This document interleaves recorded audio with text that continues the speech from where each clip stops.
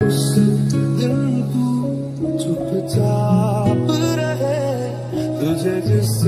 दिन कुछ ना कहे ना सुने